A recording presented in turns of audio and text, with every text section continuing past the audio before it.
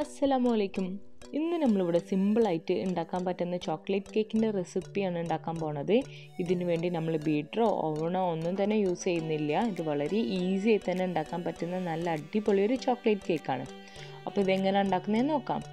അതിനു വേണ്ടി ആദ്യം തന്നെ നമുക്ക് ഡ്രൈ ഇൻഗ്രീഡിയൻസ് ഒക്കെ എടുക്കാം. ഞാനിവിടെ ഒരു കപ്പ് മൈദ എടുത്തിട്ടുണ്ട്. ഇതിലേക്ക് അടുത്തതായി ഒരു മുക്കാൽ കപ്പ് കൊക്കോ പൗഡറും കൂടി ഇട്ട് കൊടുക്കാം. അതിനുശേഷം ഇതിലേക്ക് ഒരു ടീസ്പൂൺ ബേക്കിംഗ് പൗഡറും അര ടീസ്പൂൺ ബേക്കിംഗ് സോഡയും കൂടി ഇട്ട് കൊടുക്കാം. എന്നിട്ട് ഇതെല്ലാം കൂടി ഒന്ന് നമുക്ക് അരിച്ചെടുക്കാം. അടുത്തതായി ഇതിലേക്ക് നമ്മൾക്ക് ഇനി ഷുഗർ ഇട്ട് കൊടുക്കാം. ഞാനിവിടെ ഒരു കപ്പ് ഷുഗർ എടുത്തിട്ടുണ്ട്. ഇതിലേക്ക് ഒരു പിഞ്ച് ഉപ്പും കൂടി ഇട്ട് കൊടുക്കാം. അതിനുശേഷം നമുക്കിത് മാറ്റി വെക്കാം. ഇനി വേറൊരു ബൗളെടുത്ത് അതിലേക്ക് ഒരു എഗ്ഗ് എടുത്ത് പൊട്ടിച്ചു കൊടുക്കാം. നമ്മൾ ഈ കേക്കിലേക്ക് ഒരു എഗ്ഗാണ് യൂസ് ചെയ്യുന്നത്.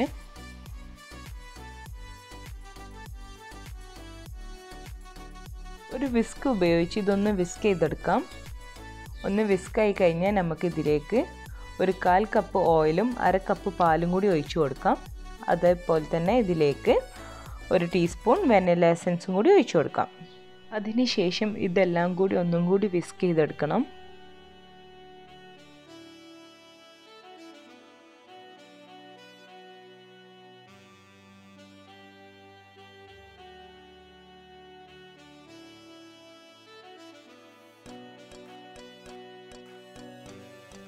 ഇതൊന്ന് വിസ്ക് ആയി കഴിഞ്ഞാൽ നമുക്ക് മാറ്റി വെച്ച ഡ്രൈ ഇൻഗ്രീഡിയൻസ് ഒക്കെ ഇട്ടൊന്ന് വിസ്ക് ചെയ്തെടുക്കാം.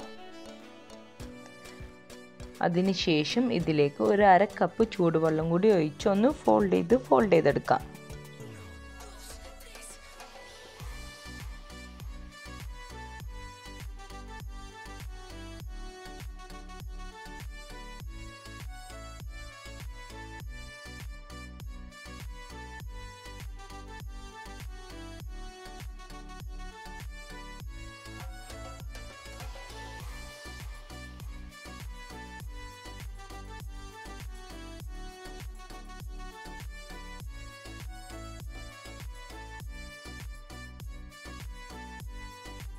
ഞാനിത് സ്റ്റൗ ടോപ്പിൽ തന്നെയാണ് ബേക്ക് ചെയ്തെടുക്കുന്നത്. നിങ്ങൾക്ക് വേണമെങ്കിൽ ഓവണിലും ബേക്ക് ചെയ്തെടുക്കാം.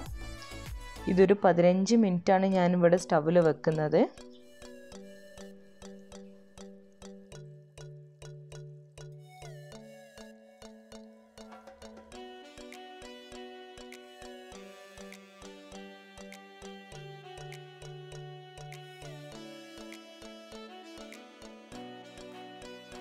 അങ്ങനെ നമ്മളെ ചോക്ലേറ്റ് കേക്കൊക്കെ ഇവിടെ റെഡിയായി വന്നിട്ടുണ്ട്.